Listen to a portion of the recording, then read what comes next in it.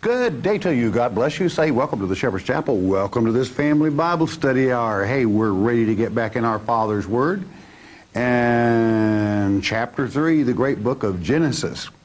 I want to say a word before I begin today. Um, many people just love labels, you know, like, well, this is the way so and so teaches. And if a man teaches this way, it ought to be, he's probably a so and so, you know, this denomination or that. Hey, it doesn't matter what this person or that person teaches, how much of it or how little. What matters is what does the Word of God say? And anyone that will bend from teaching God's Word exactly as it's written, uh, don't try to label them. Uh, I don't care if it, if it is different than locally you might have been taught, then maybe you'd better dig deeper. But what is important is to document it, know that it is God's Word, and I don't care what man says about it, stick with God's Word, and you'll always be a winner. Labels, I kind of dislike labels. I like to be a child of God that studies God's Word, period. Because there's nothing really important in this world shaping your morals, your success as God's Word will. So always stick with it and don't care a whole lot about what men say, all right?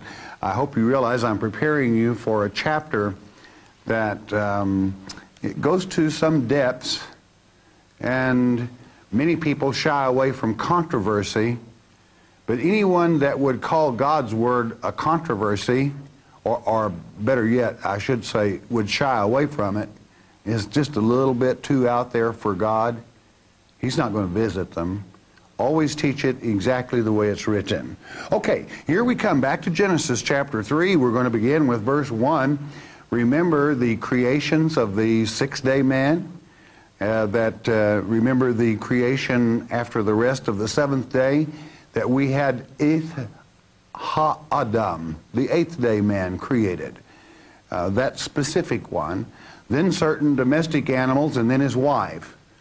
And that's where we left it. Let's pick it up now with chapter 3, verse 1. Let's go with it. Uh, with the word of wisdom from our Father and much understanding. Verse 1 reads Now the serpent was more subtle than any beast of the field which the Lord God had created. He was smarter, always stewing around, trying to take advantage. And he said unto the woman, thought he found maybe a weak spot here. Well, would he be surprised? Yea, hath, watch Satan's method of operation. He's always quoting God. That's what he did before Jesus when he tempted him. Yea, hath God said, Ye shall not eat of every tree of the garden? Question. Now that's, that's wide open. Oh, don't forget, God gave orders, and that after God states it, that becomes law. God had told them, you can eat of every tree except the tree of the knowledge of good and evil, and naturally they did not have the, the um, um, opportunity to partake of the tree of life, which is to say Christ. We're going to be talking about trees at quite length today, and God uses symbology oftentimes to teach on a deeper vein than many people are able to receive. So let's hang tough. That's what Satan asked her. That isn't what God said to Eve. All right, let's see what the woman says. Two. And the woman said unto the serpent, Ye, we may eat of the fruit of the trees of the garden, verse 3, but of the fruit of the tree which is in the midst of the garden, God hath said, Ye shall not eat of it, neither shall ye touch it, lest ye die. Now, it becomes very important that you know what it eat and touch. You really need to know what this word touch is because it's kind of like, as I told you in the beginning, if you don't start the truth, Like, for example, if you were opening a feed sack or a flour sack, if you don't get the twine or the thread started right, you're going to have it all hacked up. So you need to know exactly what God said, what God had spoken concerning uh, the serpent in this tree. Okay? So, if we may, let's have for the moment the word touch in the Hebrew tongue. And there you have it at the bottom of your screen. It's naga in the Hebrew tongue. It's a prime root properly to touch, uh, lay the hand upon for any purpose, and then you have an abbreviation for a, a euphemism to lie with a woman by implication to reach and so forth. Now that will do it. You know what a, what then is a euphemism? A euphemism is where someone uh, uses the word touch to be a nicer word than they chose to translate to lie with a woman.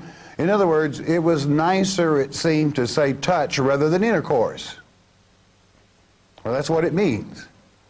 And now, many might say, oh, dear Lord, did you hear what he said? I didn't say it. God said it. That's what the word means in the Hebrew tongue.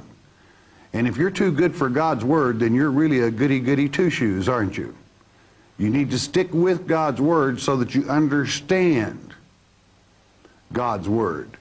Now, um, so what God had said, I think the implication is sufficient that um, that uh, it will clear itself up. Don't get away from me now. This is a little heavy for some. You put it on the shelf but it is God's Word. And I give you and tell you how to acquire the tools. If I say naga means a certain thing in Hebrew, you can check it out yourself in a Strong's Concordance or a good Hebrew dictionary. It's not that uh, big a push for an English reader. Verse 4. And the serpent said unto the woman, Ye shall not surely die. Well, now, here he lies. Ye shall not surely die. Well, what, you know, uh, God had already told them, you will. So who are you going to believe? Now, basically, this is what life is, comes down to. Uh, you make your own bed. It wasn't God that brought death into the world. Well, could we say, well, it was Eve? No, it was Satan. But Eve, by not being obedient to God, as well as Adam, did bring death in the world through Satan. Satan, of course, being. Now, um, we have uh, covered this here, and um, in this verse 4, and we see here what, what does it mean? How can we how can we understand then touch? Can we verify that just a little bit more, what it's talking about? Well, we certainly can. Let's go to Second Corinthians. Just hold your place there. We're going to make a little side trip here over to the second book of Corinthians in the New Testament. You got it. And we're going to go to chapter 11. And let's understand this um, word touch just a little bit more, all right? And let's go with it. Let's pick it up, if we may, in verse 2 of 2 Corinthians. Paul teaching, For I am jealous over you with godly jealousy. For I have espoused you, that's engaged you, to one husband. That would be Christ, of course that I may present you as a chaste virgin to Christ. That is to say that you won't be deceived, you won't be beguiled, but that, um, and the subject is the loss of virginity here. In a spiritual sense, here you bet, but listen to it carefully, verse 3. But I fear lest by any means, as the serpent beguiled Eve through his subtlety, so your mind should be corrupted from the simplicity that is in Christ. Now, it's very important that you know what is this word beguiled? Now, it, it is the exapatao in the Greek.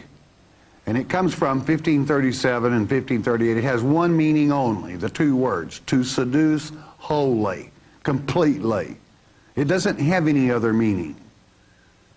Thus, let it be settled in your mind, verified even in the New Testament, as to what we're talking about in the garden from the Hebrew word naga, as well as the beguiling of Eve. Now, if we were to continue on in this uh, 11th chapter, we would find, let it be no marvel, for in the end times, Satan himself will come, the English word transformed in verse 14, but it's disguised. Satan's subtle, he's always disguising himself. So it is in the Greek. So, uh, a person, many might say, well, that's certainly spiritual. No, it isn't.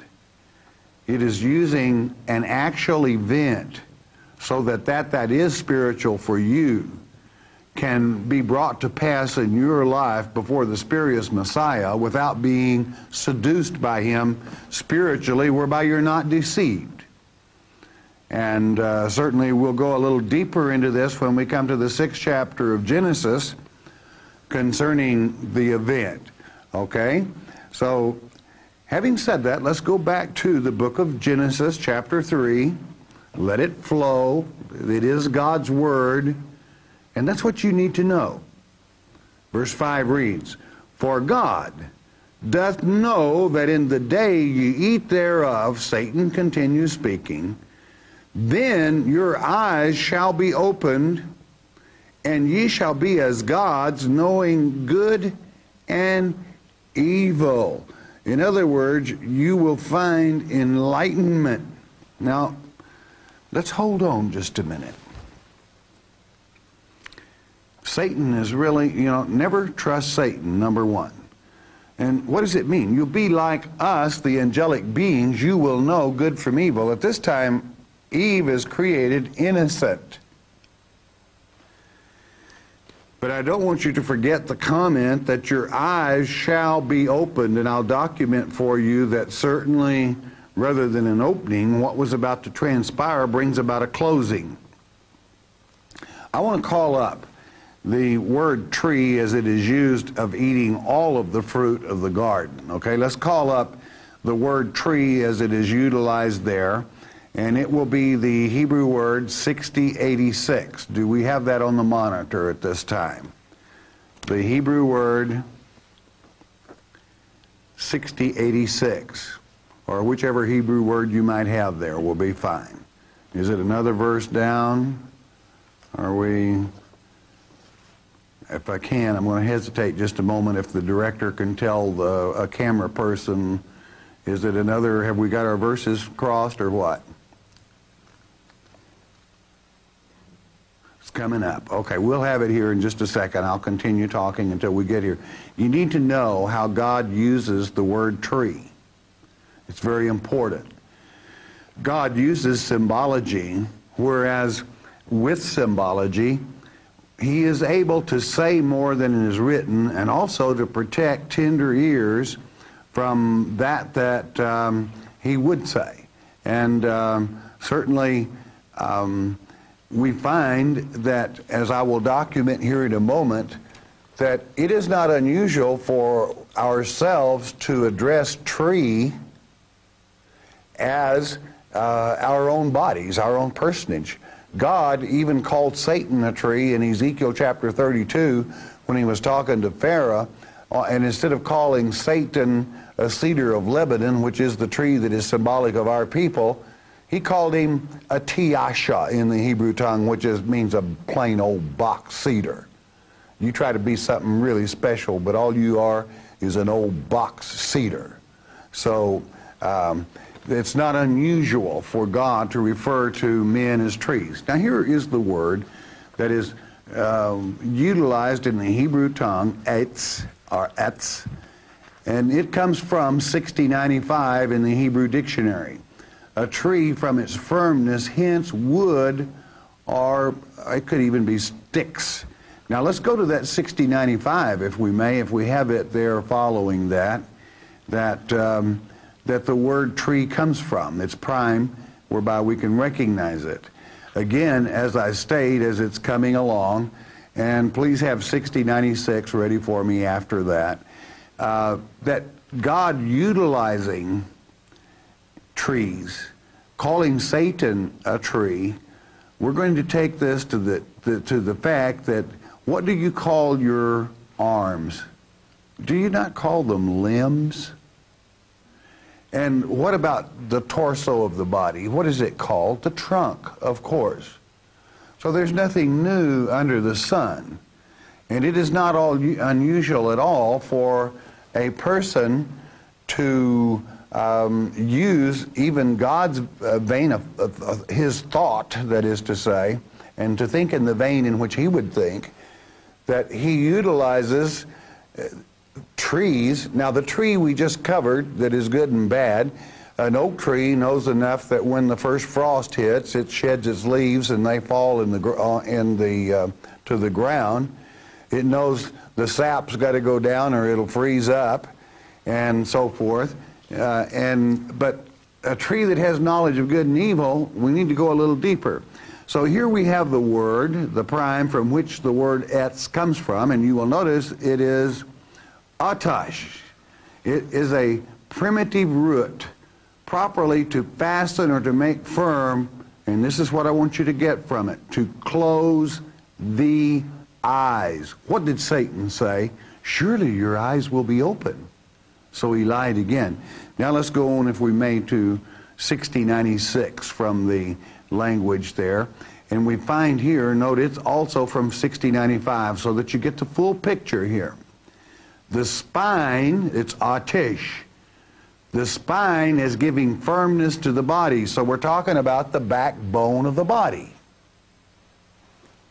So here we pretty well can begin to understand why Satan would lie when the prime from the word atash is to close the eyes. Satan says, surely they'll be open.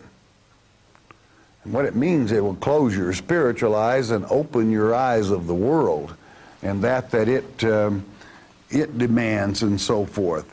But know and understand, it is not an unusual term for us to say this is the trunk of my body. Or what about your family? Many of you are proud of them, and some of us, we have maybe one or two that we would like to break a certain limb off. It's called a family tree. It's, it's not unusual at all. Now, let's, let's go on, if we may, for uh, Genesis 3 6, that sixth verse, all right? And that sixth verse reads And when the woman saw that the tree was good for food, and that it was pleasant to the eyes, now picture what's happening, and a tree to be desired to make one wise, aha, she took of the fruit thereof and did eat, and gave also unto her husband with her, and he did eat. Now, there's one thing I want to make very clear that they both partook of the same fruit. She simply indicated it to her husband and directed him to it. Now, again, is it unusual for God to mention men as trees. No, I, I want to. I really want to nail this one down. Go with me to Isaiah chapter 61, and let's pick it up in the third verse of that Isaiah chapter 61, and it reads, God speaking, to appoint unto them that mourn in Zion, that means because the Antichrist has taken over, to give unto them beauty for ashes, the oil of joy for mourning, the garment of praise for the spirit of heaviness, that they might be called trees. They might be called what? They might be called trees of righteousness, the planting of the Lord, that he might be glorified. Now, God planted trees, but it would seem that Satan had a little habit of planting trees also. I find it interesting that even in this same in this same um, chapter, um, in verse 21 of, of um, 59, that it reads, and you won't have it, but I want to read it to you. The people also shall be all righteous. They shall inherit the land forever, the branch of my planting. In other words, a branch of a tree. Christ himself was even called the branch. So again, think not just because the subject is tree. Now, now I have a question for you. Some might say, well, this is just a little bit steep. If we're talking about what I think he's talking about, conception and, um, and uh, people not retaining their virginity for the coming of Christ, uh, this is really kind of heavy. That's what God's Word states. Now, let me ask you a question.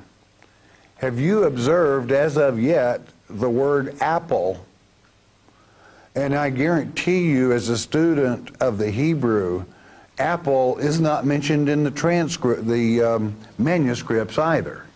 No way you could translate any tree that has been mentioned thus far as apple. So, I wonder how many of you can remember back in your, oh yes, dear children, Eve ate an apple off of an apple tree. Lie, it's not there. You're lying to the children. Now, which is better in God's eye?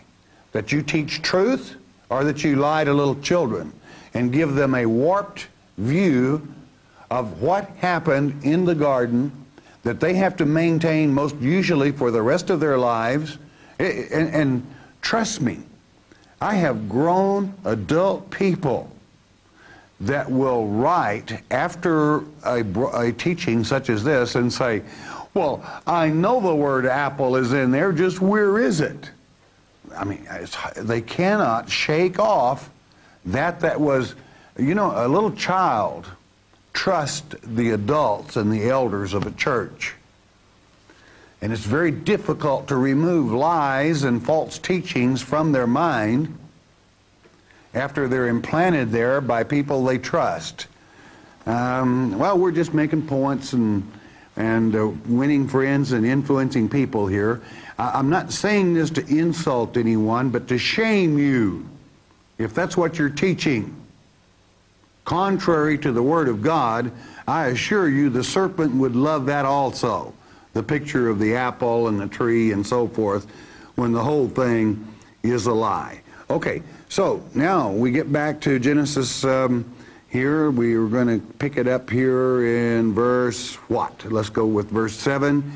And the eyes of them both were opened, open to the ways of the world, sin, and they knew that they were naked. Uh-oh. The old backbone with the central nervous system running through it has already passed the little message up to the brain. That's where the knowledge of the good and evil is. That's why the tree of the knowledge of good and evil was Satan himself. And they sewed fig leaves together and made themselves aprons. Now, I can't help saying it. Aprons, uh, the, the word in the Hebrew for aprons is to girt themselves. Oh, no, honey. No, honey, they ate an apple, so they made a little mask to put over their little mouthy here. You see that? Yes, little fig tree, you know, and just put the little fig leaf right around their mouth. No. They made aprons to cover their private parts because of what they had just done. Now, let's not, let's not lie to children concerning God's word. It makes God very angry. And I'll tell you something. Jesus told you in Matthew 24 and Mark 13, not maybe you should learn the parable of the fig tree, but to learn it. And this is the very rock foundation of the parable of the fig tree. If you don't understand this, you're not going to understand any of Christ's other parables as it's written in Mark chapter 4 concerning this thing. And it's the reason that God speaks through Christ in parables um, to those that have eyes to see and ears to hear. They made aprons. They girded themselves. They covered their nakedness. Verse 8. And they heard the voice of the Lord God walking in the garden in the cool of the day, and Adam and his wife hid themselves from the presence of the Lord God amongst the trees of the garden. Why? They sinned. They disobeyed. 9. And the Lord God called unto Adam and said unto him, Where art thou? Verse 10. And he said, I heard thy voice in the garden, and I was afraid because I was naked, and I hid myself. Verse 11. And he said, God, Who told thee thou wast naked? Question. Hast thou eaten of the tree whereof I commanded thee that thou shouldest not eat? Question. Well, naturally he had, because the evilness that Satan shared with he and the woman both made them ashamed. Verse 12, and the man said, the woman, the woman there, whom thou gavest to me with, to be with me, she gave me of the tree and I did eat. It's all her fault. Old Adam trying to, uh, bless his hide, trying to pass it off and blame it on the woman when he was uh, supposed to be the one that would have kept it from happening in the first place. Understand, 13. And the Lord God said unto the woman, What is this thou hast done? And the woman said, The serpent beguiled me, and I did eat. I don't have to tell you what happened there. You can tell by the outcome of it. Listen to God. He'll explain it to you that might have difficulty. 14. And the Lord God said unto the serpent, You know who the serpent is? It's that old devil, the dragon, Satan. 14. And the Lord God said unto the serpent, Because thou hast done this, thou art cursed above all cattle and above every beast of the field. Upon thy belly shalt thou go, and dust shalt thou eat all the days of thy life. In other words, that is a statement of degradation that Satan could never again um, uh, rise to a point of salvation or anything else. Verse 15. And I, how sharp are you? You know, can, do, can you listen to God's word without thinking of labels or what you've heard in the past and let God just speak? Let's do that. I will put enmity between thee and the woman, and between thy seed and her seed. Okay. Do you know what? Uh, we're talking about children here. That's what the seed of man is, okay? It shall bruise thy head, and thou shalt bruise his heel. This is the first prophecy. Satan knew that it would be from this woman that Christ would come. And God is saying, because you tried to destroy that, I will put enmity between thee, thy seed and the woman's seed, meaning Christ was nailed to his heels were pierced. But Christ ultimately will crush the head of the serpent. And so it is. Well, how can we be sure that Jesus would teach something like that? Well, how about reading it? Let's go to the 13th chapter of Matthew real quickly here. The 13th chapter of Matthew, and you'll find that Jesus did teach that the serpent had seed or children here on earth. Even though you've got a bunch of these wackos, biblically illiterate, so-called teachers that would run around and tell you otherwise.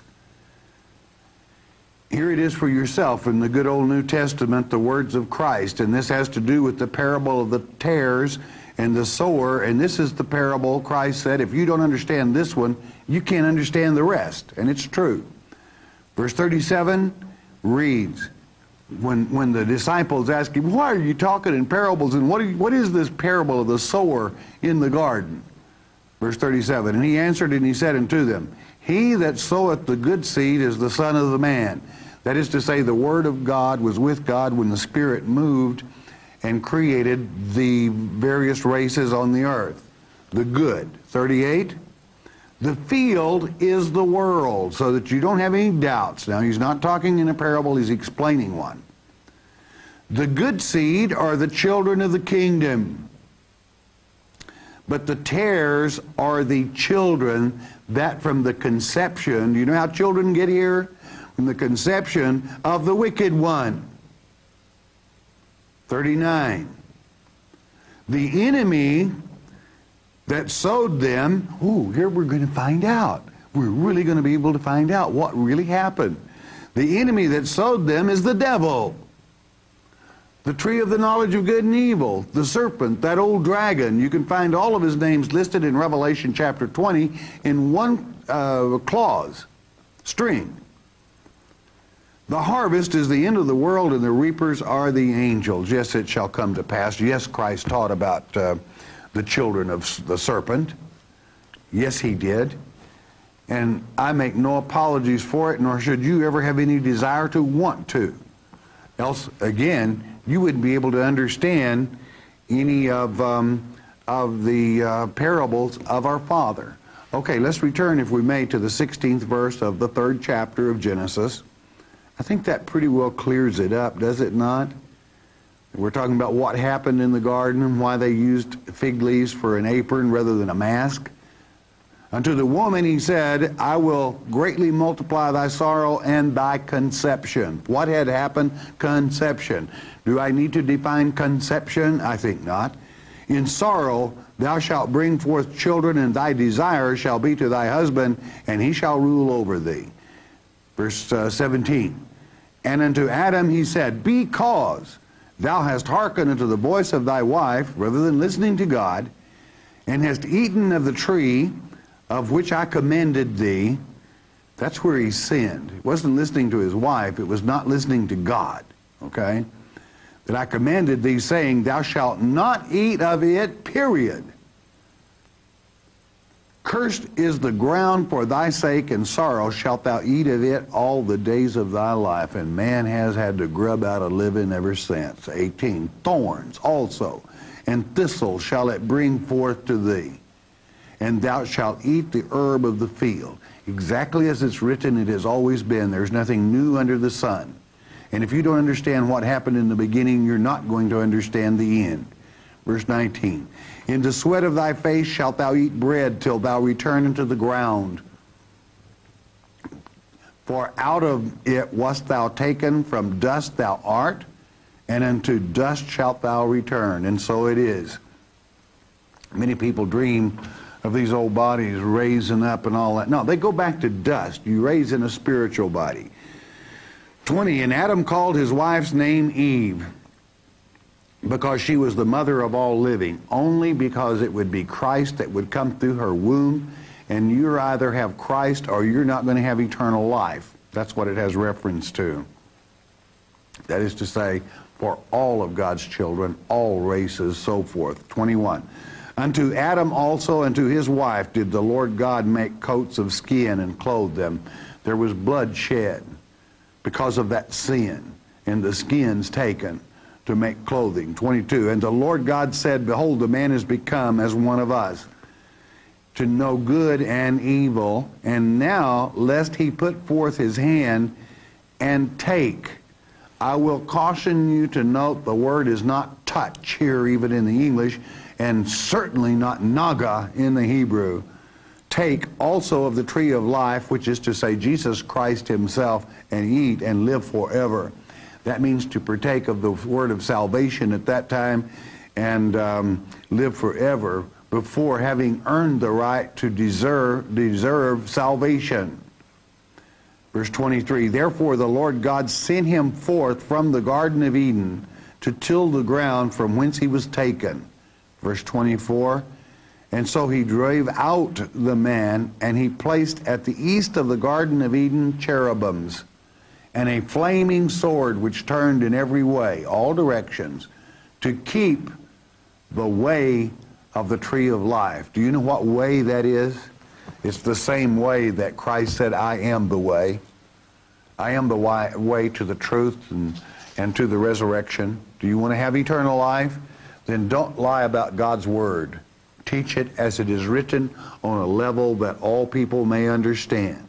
Gently, firmly, and certainly it is a part that you want a mature child's mind. There's nothing wrong with teaching a child the truth.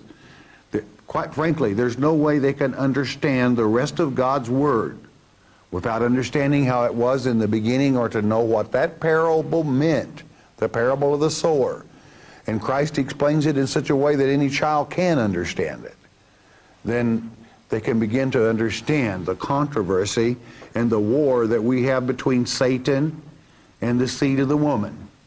That is to say, Christ and the children of God that try to follow God. There will yet be one more time that Satan will take an opportunity to destroy that woman through which Christ would come. We'll find it in the sixth chapter of this great book. I make no apology for God's Word. It is very easy for you to check out the Hebrew by the, by the materials that I have submitted to you, even drawing you a picture and showing you the Hebrew, and in one case the Greek, in this uh, particular lecture, and exactly what it means, being fully translated rather than transliterated. God's Word is true. It's simple, it's wholesome, and it's good. You never have to make any apologies for God's Word. It brings about clarity, understanding, and a happy life, most of all, and along with peace of mind and eternal life. Never apologize for God's Word to any man. It is written, and it shall come to pass exactly as it is written the first prophecy concerning what would happen to Satan's head was listed in that 16th verse, 15th and 16th verse of that book of Genesis. That hasn't even happened yet, but it's going to. So some of what you were studying today is prophecy yet for another day. Don't miss any of these lectures, especially in the first six chapters of Genesis. They are very important. And again, I make no apologies for God's word, neither should you. All right, bless your heart. You listen a moment, won't you please?